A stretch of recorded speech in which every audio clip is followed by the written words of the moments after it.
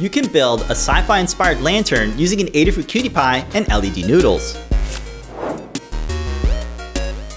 We 3D printed parts to build a container that showcases these flexible LED filaments.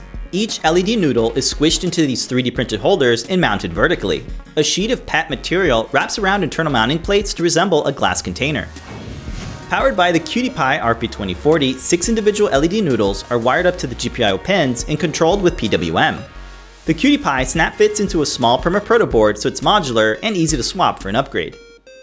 It features a latching push button with a built-in LED ring for turning the lantern on and off. There's also a print-in-place handle with a built-in hinge that allows it to swing back and forth. It's running off a cylindrical LiPo battery so it's portable and will last for several hours. The LED noodles are individually controlled using the PWM library in CircuitPython.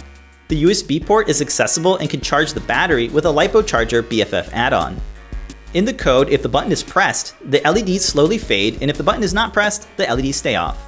CircuitPython makes it easy to drive LEDs so you can quickly develop your next DIY project.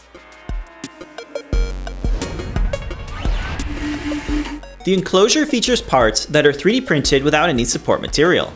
3D models of Adafruit parts are available to download on the Adafruit CAD Parts GitHub repo.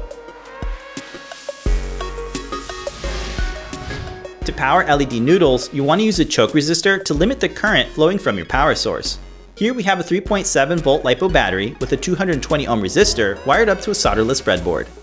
Alligator clips make it easy to connect to your breadboard for testing polarity and your power source. Start by connecting an alligator clip to the cathode end of the noodle. The anode, or positive end, features a notable hole in the metal contact, so it's easy to spot. For more documentation and some demo code, be sure to check out the Learn Guide on the Adafruit Learning System.